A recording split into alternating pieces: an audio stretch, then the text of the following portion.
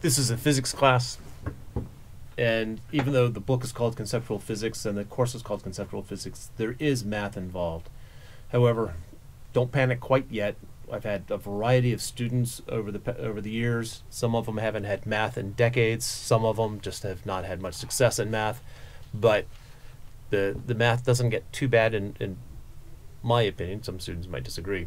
However, just to give you some idea of the math and something that I would like you to do before you come to class next time, if I did not do this in class already, is a problem like this.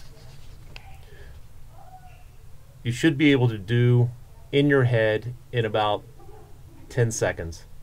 So you should be trying to figure out how you can solve, come up with an answer for this problem that is a division sign there how to come up with an answer for this in about 10 seconds. And I'll change the numbers for when I quiz you in class, but uh, I want you to try to think about how to do that. This is math that is definitely not beyond your ability. You're quite capable of doing it. And when you see the answer, if you haven't figured it out, you'll go, oh, of course, that was so obvious. And part of the reason why I do this is because this is physics class, it is not math class. And so there are certain shortcuts that we can take that you're not allowed to do in math class. So just relax. We'll get through it. It'll be okay. And if you want, you'll actually learn something.